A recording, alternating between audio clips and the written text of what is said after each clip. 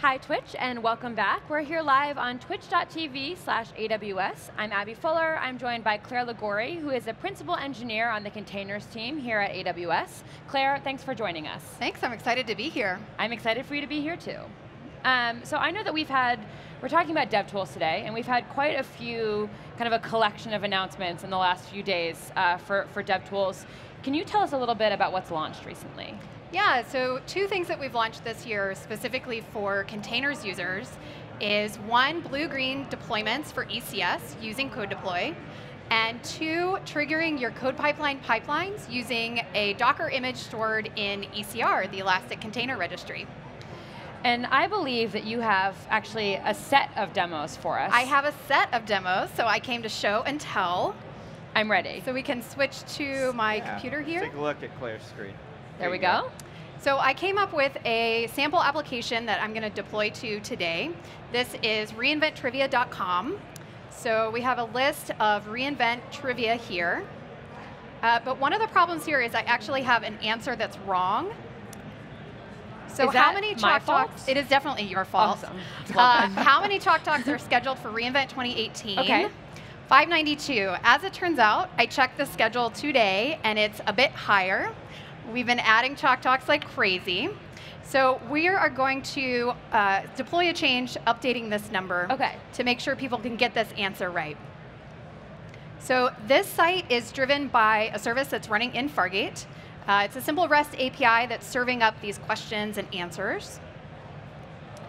And then this is my service that's running in Fargate. So one of the things you can see is I have a load balancer in front of it. It's highly available. It's got three different tasks running. But one of the things that I've set up here is blue-green deployments with code deploy. So we can see that the type here is blue-green. I also have my Docker images stored in ECR for this repository for this uh, service. And you can see I've been doing a lot of builds as I've been getting ready for reInvent this week. So the way to set up blue-green deployments with code deploy is we make it really easy in the ECS console to come down and select blue-green deployment powered by code deploy. And that will walk you through setting up your service for this. Can we recap really quickly for those of us that don't know what a blue-green deployment is? Yeah, absolutely. So a blue-green deployment is where a new green fleet of tasks starts up in parallel to the tasks that are already taking live traffic, which is the blue fleet. And then once all of those tasks are set up, Code Deploy is going to do a traffic shift at the load balancer level, so that's going to take seconds to do. And then at that point, rolling back happens within seconds as well because the blue fleet is going to stay around for a little bit. So there's a lot of great deployment safety features here that Code Deploy brings. Uh, one is alarm monitoring automatically, so it'll automatically roll back your deployment if any of your CloudWatch alarms go into alarm. The other is validation hooks, which I'll show, letting you test out your application in that green fleet before live traffic actually hits it, make sure it's all good. And then uh, finally is this really fast rollback, rolling back within seconds because it's happening as a traffic shift at the load balancer level. We're talking about ECS and containers for blue-green deployment, but there's also other other targets that you can have for blue-green deployment. Yeah, absolutely. Code so Code Deploy also supports blue-green deployments for EC2 instances, and then it supports blue-green and canary deployments for AWS Lambda. Ah, see Lambda. I had to, I know, I had to ask I for know. Lambda. But we're talking about containers guy. today. I know, I know, I know. So you're trying to trick us onto, onto Lambda. Uh, this is payback for Tim Bray, right? You were up here with me with Tim, and Tim and I serverless fans. This may or may not be a biased panel for you. Yeah, yeah, yeah, it's fine. Well, let me take you through the code deploy setup for blue-green deployments with containers. This is, after I've gone through that ECS wizard and the ECS console, it sets up this deployment group for me. I've got the Amazon ECS compute platform, and then one of the things I have here is this test listener ARN. So this is how you're able to test out your green fleet before you actually shift over production traffic from the production listener. And then down here, I have a whole bunch of CloudWatch alarms, like uh, looking at the 500s that are coming out of my service, looking at unhealthy hosts in my Fargate service. If anything goes into alarm, it'll automatically roll back. And not to interrupt, but yeah. we had a, a, question from the stream. Uh, I think it's, it's a good clarifying question. Uh, they're not sure what code deploy is. Uh, it's not a new service. It right? is not a new service, yeah. So code deploy is a fully managed deployment service on AWS. Uh, it will deploy to now ECS, but also EC2 and Lambda. Great. So uh, I've been talking about some of these safety features. Let me walk you through a really quick kind of flip chart here to show you what this looks like when you actually deploy with code deploy and a blue-green deployment. So this is kind of the setup you would normally have with a Fargate service. You have a bunch of tasks running your V1 code uh, in your Fargate service, and you've got a target group, and you're probably serving up uh, traffic on something like port 80 with your application load balancer. So to get set up, you set a new test traffic listener on a different port. Doesn't matter, I chose port 9000, and then a second target group. So in order to be able to test your new green fleet with your new code, you, uh, code deploy is going to hook that up to the target group for you, and then set it to the traffic listener for testing. So at this point, you get the option to run integration tests or just a simple curl to that port 9000 to make sure that you get all of the responses you expect, hopefully a status code 200.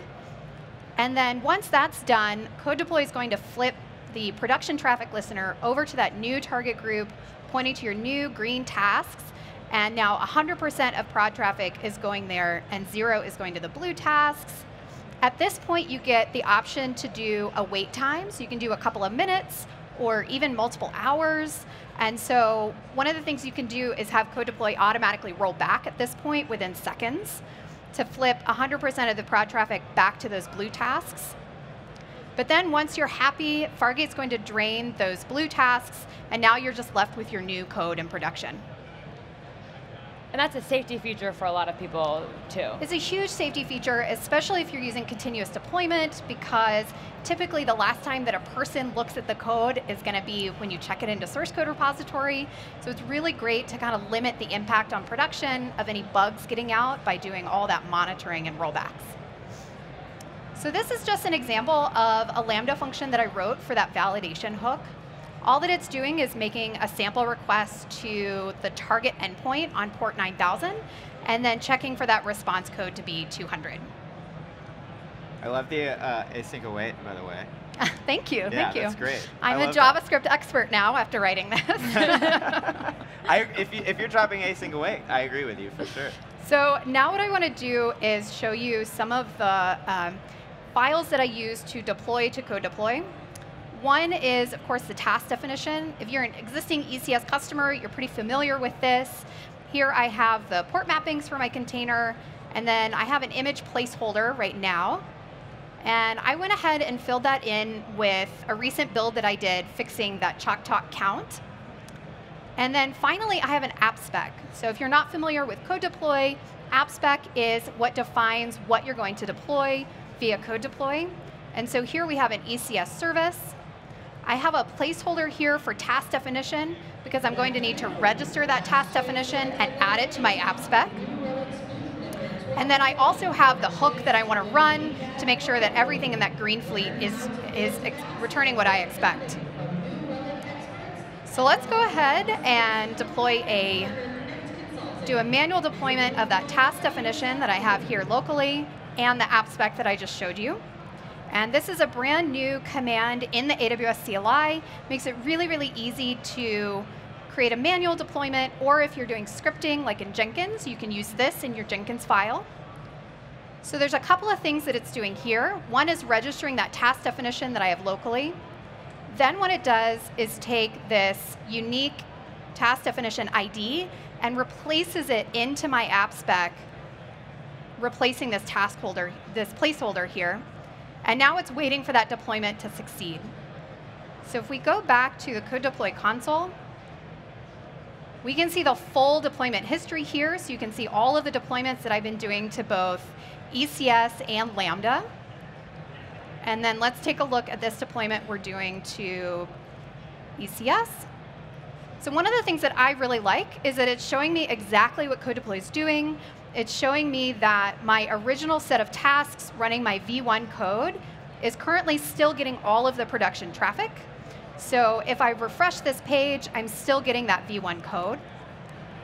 And currently what it's doing is spinning up that replacement task set. So if we look at the ECS console for this, one of the things we're going to see in that deployments tab in the ECS console is that there's now a deployment in progress, and I can see what it's doing. So one of the things that it's doing is spinning up the same amount of tasks that I had in my original task set. And then code deploy will, once that's all spun up, code deploy will do the shift at the, at the load balancer. So one of the things I can also see down here is what the app spec looks like once that AWS CLI command replaced everything. So it replaced that task definition placeholder with that unique number that it just registered.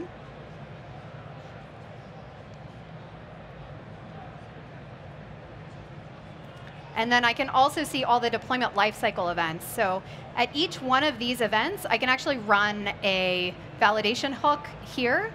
I've chosen to do pre-traffic, so before, after it allows the test traffic, but before it starts allowing the production traffic.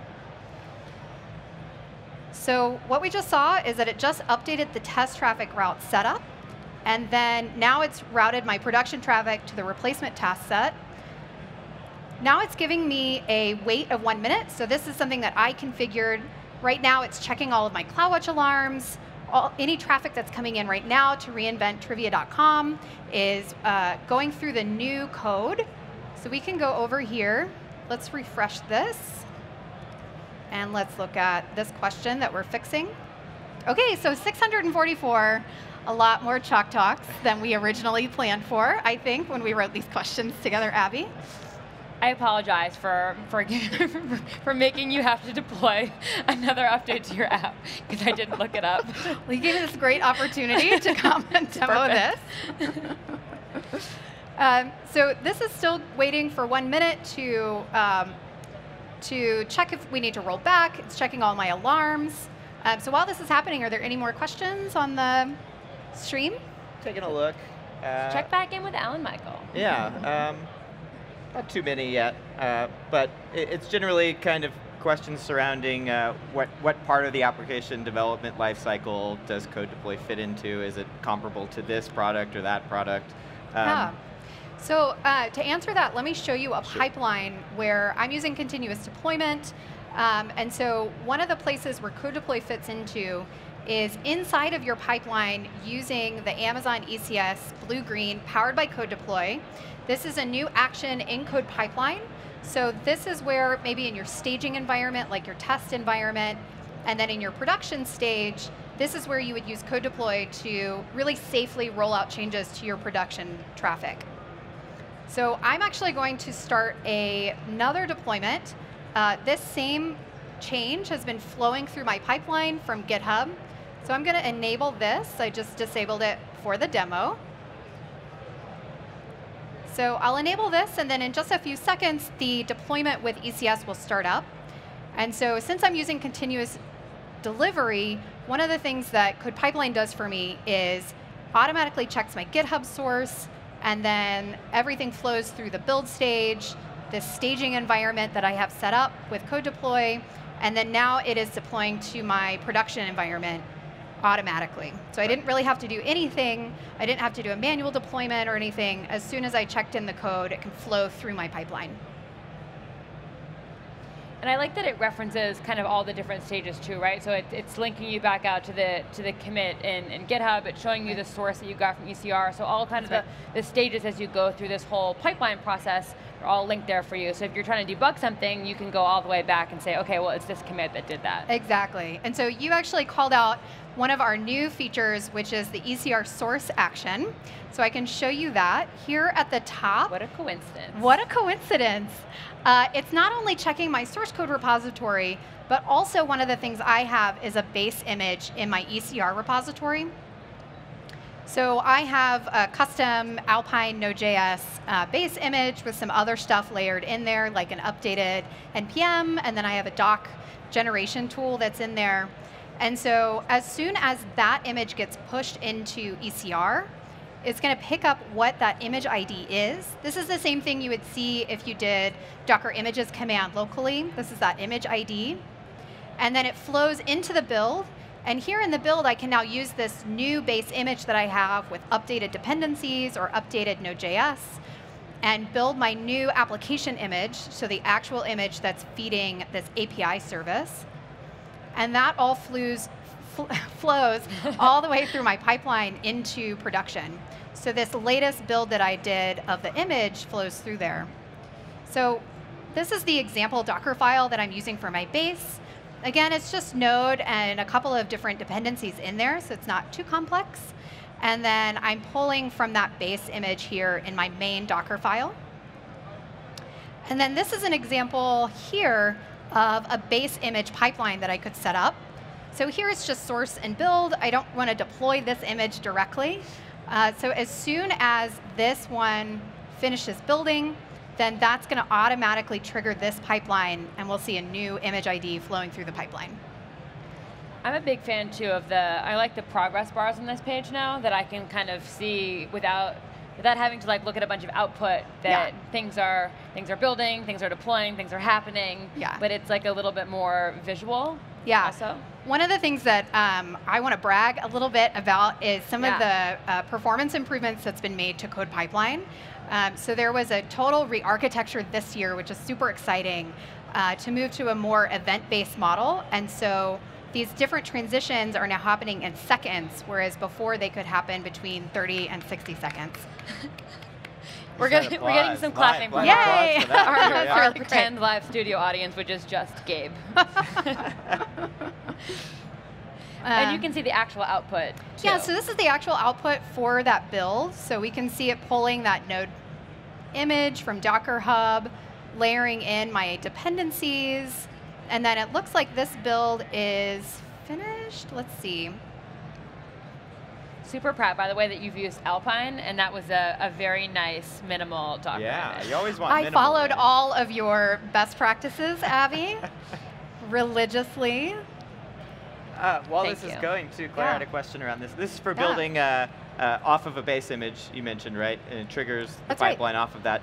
Yeah. Uh, you can you can also do a nested build step inside the Docker image file. Uh, Yeah, what- definitely. What, would be the trade-offs there? What, why would you do one or the other? Can you can you kind of talk to that maybe? Um, do you mean more about like multi-stage builds? Yes, Or, yeah, So yeah. I really like multi-stage builds. Um, I'm actually using that here in my main one. Uh, no, not in this one. Different, different demo application. Sure. No. Uh, I'll put but- you on the spot. But one of the things I like, which Abby talks a lot about actually, is Almost too much. too much, is um, you know looking at how minimal your image can be. So things like um, test dependencies for running unit tests can be put into that first base Right. uh, build, and then you don't have to copy them into your release image. And that just makes deploying a lot faster because you pull the image a lot faster It's if it's small image, smaller. right? So your pipeline goes faster. Um, so that's been really great um, for some of my applications. Plus, you don't want to ruin all of these nice performance improvements in Code Pipeline by trying to push a, a giant four gigabyte image That's every single exactly time. Right. That's exactly right. so one of the things we saw that build finished of that base image, and so now we have a new image ID flowing through the pipeline, and I've got a new build running for my application image. So that was really easy. And that was pretty snappy too. Like Very snappy, You yeah. just you you identified a change, you changed the you changed the image, then you pushed it up, and then Code Pipeline has kind of handled everything else. Yeah, and you. actually the project was called Snappy Pipelines. Really? Yeah. I actually didn't It know feels that. very I didn't even walk myself into that joke. I genuinely didn't know. okay. Awesome. I'm super proud of myself. it feels snappy. They definitely It does- accomplished their, it does their feel goal snappy. there. Yeah. Okay, uh, well, we are just about out of time. Uh, thanks to Clare for joining us. Uh, and we will see you back in just a couple minutes on twitch.tv slash AWS. Thanks so much.